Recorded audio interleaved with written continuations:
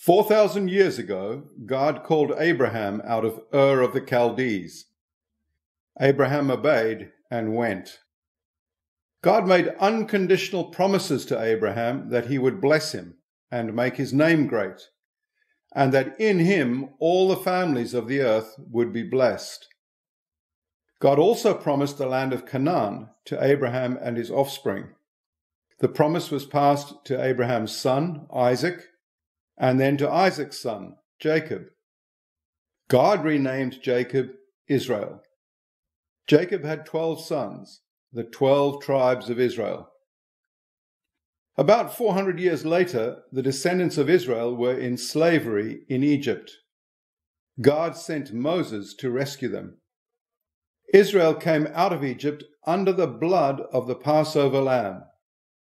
The event was also symbolic of the salvation that's available through faith in the sacrifice of Jesus on the cross.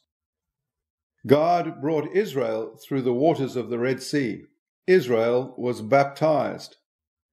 Israel came out of slavery in Egypt, but few came into all that God had for them. Even though they had seen and experienced the supernatural power of God, most didn't trust God to complete what he started. In unbelief, they complained. They complained about the enemy. Why did you do this to us? They cried to Moses. They complained about the lack of water. The people grumbled at Moses. What shall we drink? They complained about lack of food. The whole congregation of the sons of Israel grumbled. You brought us here to kill us with hunger, they moaned. They complained against Moses. God considered the complaints to be a demonstration of their lack of belief in his willingness to take care of them. They put God to the test. They did not believe in God and did not trust in his salvation.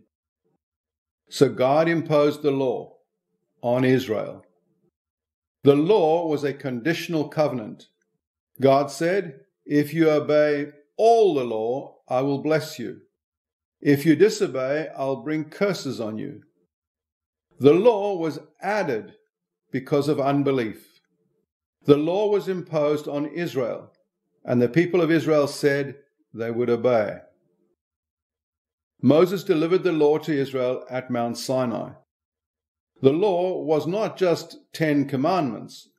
The law has 613 commandments, which had to be obeyed completely. All the people of Israel said, All that the Lord has spoken, we will do.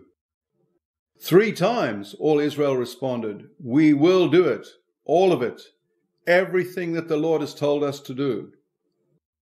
When Moses summed up the law before Israel crossed into the promised land, he said, It will be our righteousness if we are careful to obey all the commandment.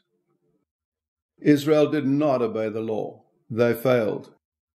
With two exceptions, Joshua and Caleb, the entire generation died out during 40 years of wandering in the wilderness. The second generation came into the promised land. God stopped the waters of the Jordan River and Israel passed over. The new generation was baptized. On entering the promised land, the new generation was circumcised and immediately they celebrated the Passover. God gave them victories, but they still failed to obey all the law. Israel failed to obey all the law because it's impossible for fallen man to meet the perfect standard of the law.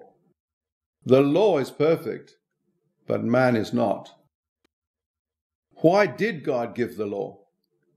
First, to show that his standard is perfection. Second, to show that nobody measures up. In other words, God gave the law to make sin obvious. Third, to show that man is unable to achieve righteousness by his own efforts. We need a Savior. Fourth, to point to that Savior. Christ is the end of the law for everyone who believes. Fifth, to lead people to the Saviour so that we may be justified by faith in Him. Jesus has done for everyone who believes in him what we could never do for ourselves. The law was a shadow of the good things that were to come in Christ. The law hinted at the salvation of God. Jesus obeyed the law, the letter and the spirit of the law, and righteousness is by faith in him. There is no other name given among men by which we may be saved. The law was made with Israel. Gentiles were never under the law. But Gentiles can come into right relationship with God through the new covenant.